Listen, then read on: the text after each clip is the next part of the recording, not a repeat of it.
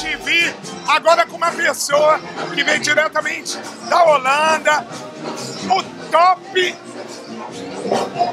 Brasil. Márcio, seja bem-vindo sempre na Suíça.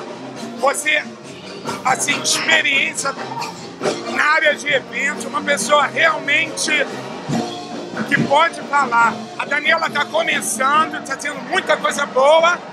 E o que, que, você está achando? Para ser um evento depois de muito tempo né, que ela não trabalhava com eventos, para mim ela fez muito barulho aqui na Suíça, né? Fez um trabalho muito grande de divulgação, né? Chegou a muitos lugares na Suíça. Então é um começo, né? É um começo que não é fácil, mas para ser um começo, tá muito bonito o trabalho que ela fez. O que, que um promotor principalmente um produtor de eventos, tem que ter de início? Disposição. Muita disposição, porque não é fácil não, velho.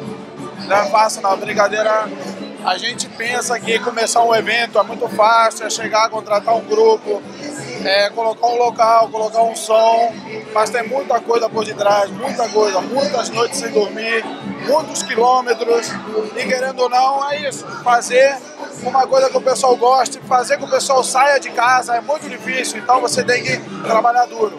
Então tem que ter muita disposição para poder realmente fazer esse pacote completo para poder fazer isso daí, né? Manda lá um recadão para os internautas diretamente de um profissional de evento.